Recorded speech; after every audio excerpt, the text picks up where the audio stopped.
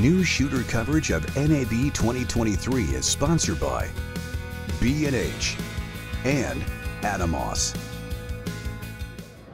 I'm Erik Naso with Newsshooter.com, and we are at NAB 2023, and I'm with Jim at Creamsource. How's it going, buddy? Doing well. Thanks for uh, thanks for coming by. Oh, absolutely. How's the show been so far? Great show. Uh, it's real happy. Uh, it's real great to be back. Uh, yeah. To be showing off um, what we have to you know to show to the lighting community. Uh, it's been it's been a great couple of days. Well, fantastic. So you have some improved or just new hardware, mounting hardware for your lights. Talk to me about it. Yeah, so uh, um, rolling out now uh, is our LNX product. Um, it's a quick release system that allows you to link together, uh, from our perspective, an unlimited amount of Vortex units.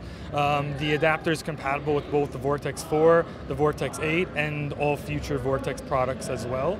Um, it's, uh, as I mentioned, it's quick release. Um, there's a lot of safety uh, consideration that went into a rigging product.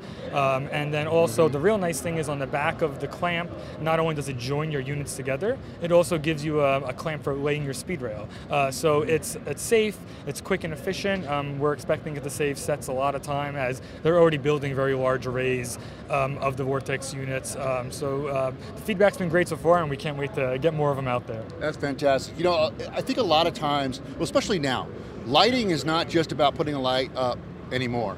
I mean, these things can do so much more with mapping and you know design to become almost you know a part of the background, not just lighting subjects. Yep. And mounting, rigging, it always becomes a DIY effort. So this is a big deal, and it's really beneficial to, the, to your to your customer or anybody that's going to be using fixtures.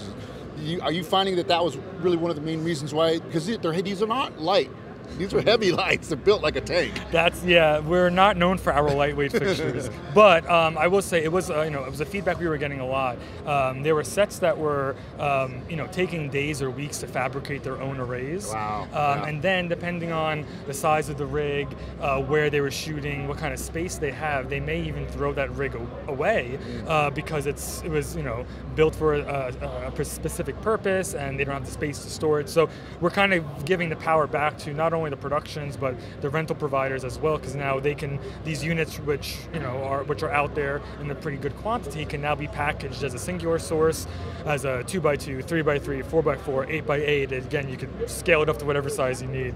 Can you also do like a sort of a custom configuration, not just a box or a rectangle? Can you do other types of configurations? Uh, so the way the way the linking system works uh, right now, you are kind of stuck to like rectangles or squares. Mm-hmm. Uh, you need to utilize uh, the corners of the vortex, um, and they're kind of fixed at uh, at straight angles. Uh, so it would be um, kind of you know, just squares and, and rectangles at the moment. Okay, and you, you, were telling me earlier that you guys have a firmware update coming out. Oh yeah, so in a in a couple weeks, we have a uh, an upgrade coming out for the Vortex. Um, it is uh, the coolest new feature on it would be the ability to allow your Vortex unit to act as a wireless node, uh, so you can connect to your Bluetooth uh, to your Vortex via Bluetooth, um, and then through the uh, th- through, uh, through the wireless of that Vortex, then connect to other Vortexes. So it eliminates the need for for wired DMX.